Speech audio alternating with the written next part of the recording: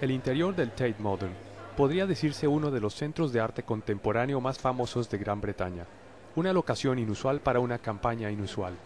1010, llamado a todos los ciudadanos para acordar intentar reducir sus emisiones de carbono en un 10% para el año 2010. La fundadora de la iniciativa, Franny Armstrong, directora de cine, alienta a que todos se involucren.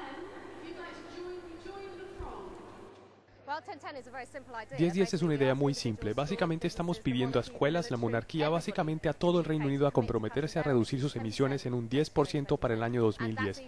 Y esto es fácil, el primer 10% es cómo bajar la temperatura de la calefacción volando un poco menos, manejando un poco menos. No es una cosa difícil. Y una vez que tengamos una masa crítica de la población en conjunto, entonces vamos a desafiar al gobierno y decir, vean, Gran Bretaña está lista y ahora deben comprometer al país para una seria reducción de emisiones acorde con las líneas establecidas por los científicos.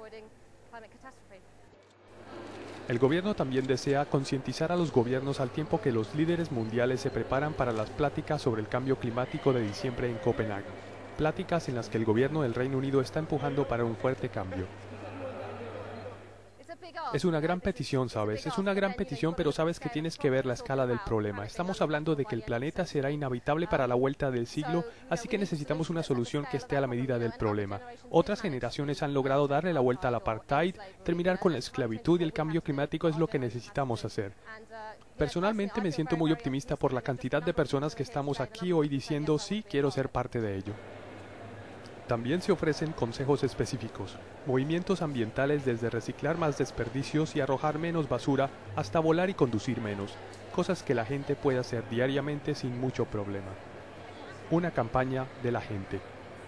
Organizaciones que ya se han apuntado a la idea van desde el Museo de Ciencias del Reino Unido hasta el Club de Fútbol Tottenham Hotspurs, la compañía British Gas y el Consejo Británico de la Moda. De hecho, la campaña ya empezó.